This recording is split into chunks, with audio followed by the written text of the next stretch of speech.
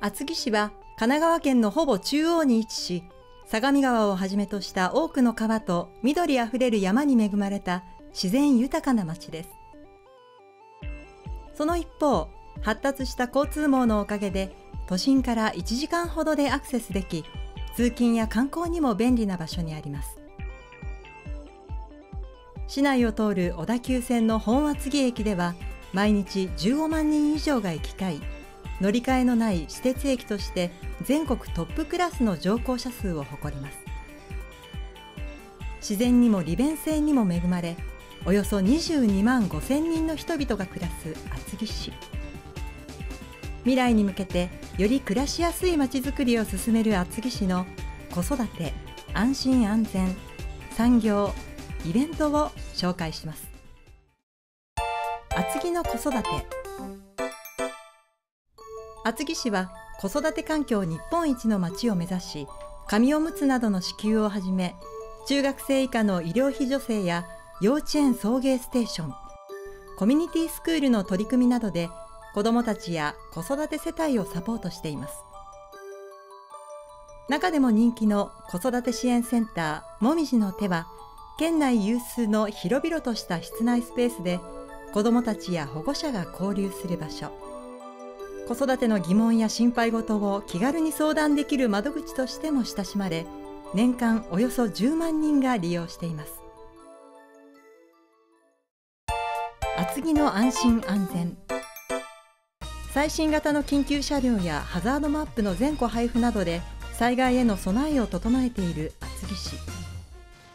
市と市民が共同で怪我や事故を防ぐセーフコミュニティに取り組み2010年には国際認証を取得するなど安心安全なまちづくりに取り組んでいます。厚木の産業。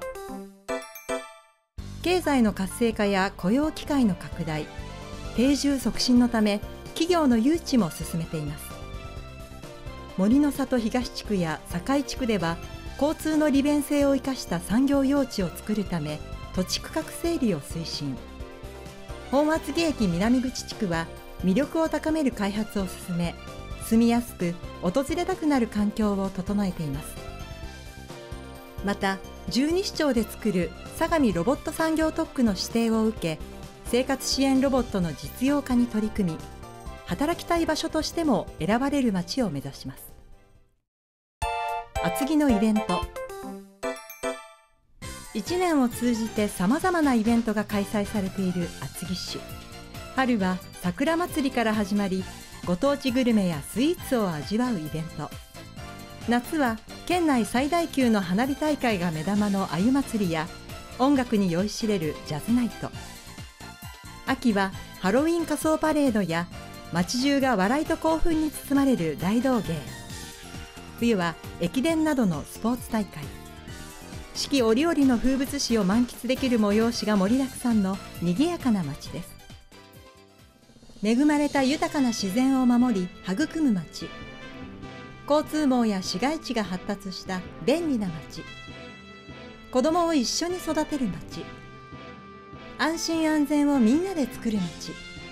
楽しくていつも活気がある街。厚木市は市民の皆さんの希望や期待とともに未来へと歩み続けています。